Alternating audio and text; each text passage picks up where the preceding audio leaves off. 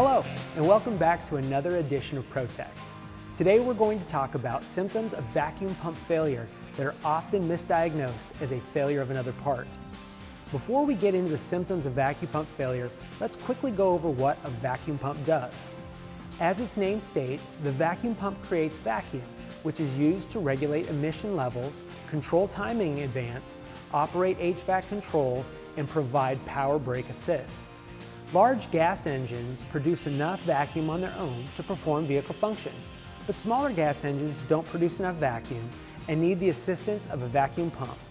Diesel engines don't produce any vacuum and therefore also require a vacuum pump. Now, when a vacuum pump fails, the result can often lead to confusion in determining the cause of the problem.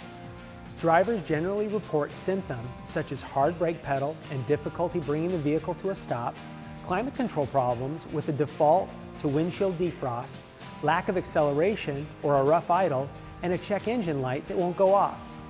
When dealing with a vehicle exhibiting these symptoms, the quickest, most effective way to diagnose the problem is to check the vacuum pump with a gauge.